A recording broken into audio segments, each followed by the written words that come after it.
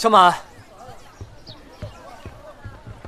苏家的案子到底怎么了？为什么他们都说？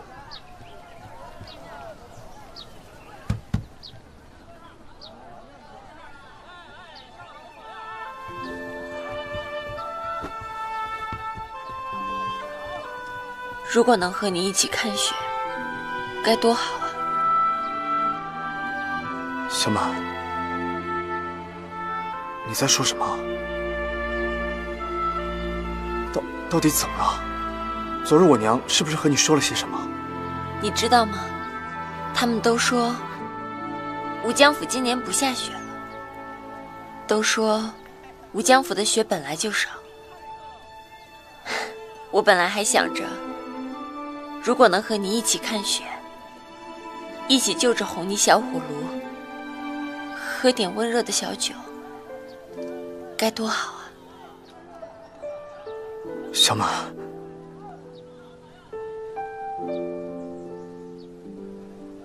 赵小倩，你娘让我离开你，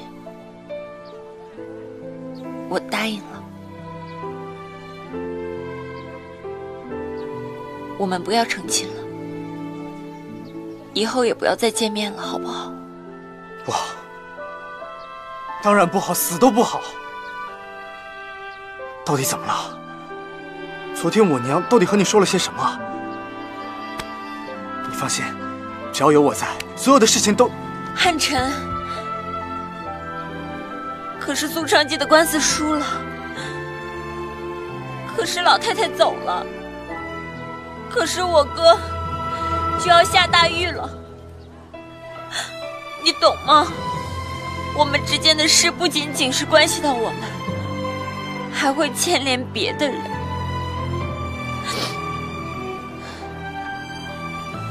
之前我真的好想好想嫁给你，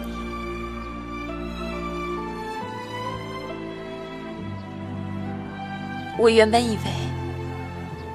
我们之间所有的问题，都是因为我们不是真正的夫妻。可是我现在才明白，这不是因为我们不是真正的夫妻，而是因为我们永远也无法成为真正的夫妻。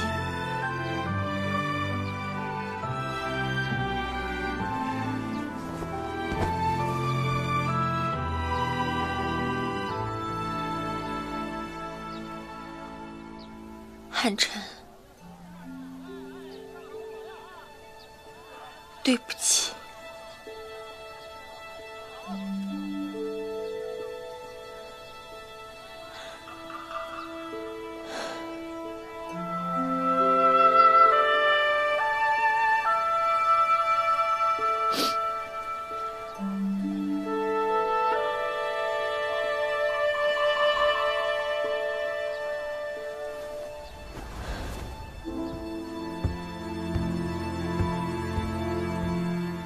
我不答应！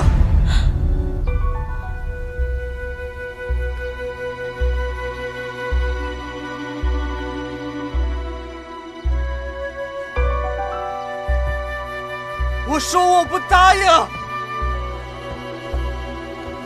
所有事情我都可以解决，但唯独这件事不行！我不答应！我也绝对不会让你答应的！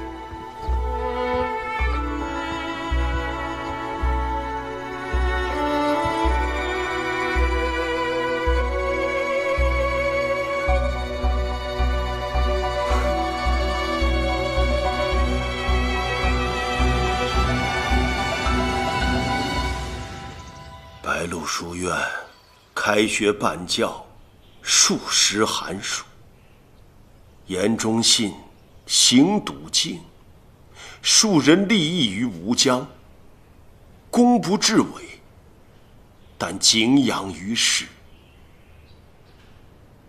诸位，跟随我，传义理之学，受修身之道，上不愧天，下不愧地。但我无能，没能替大家守住书院。白鹿书院要关停了。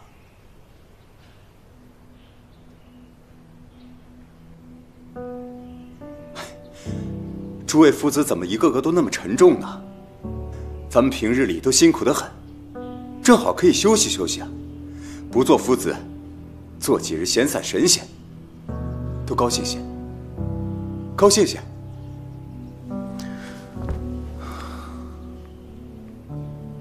山长，时局变幻，怪不得谁，你就不要太自责了。正是。聚聚散散，归去来兮。他年若有机会再重逢，我高某人照旧是你新书院里的夫子。承蒙厚爱，诸位父子，他日离开了书院，也能不忘传道授业解惑的床床之心，教书育人，报时人文。那是自然。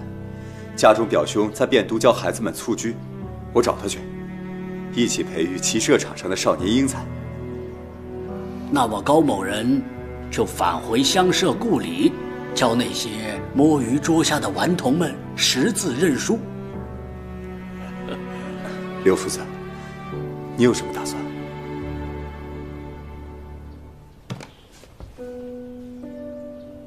我也准备前往汴都。开设一间女子书院，教天下女子世间道理。啊，甚好甚好！柳夫子最是眼界宽广，心怀女子福祉，让人钦佩。啊，从文呢，作何打算？学生刚从汴都回来，见多了这世事百态，所以想去南边游学。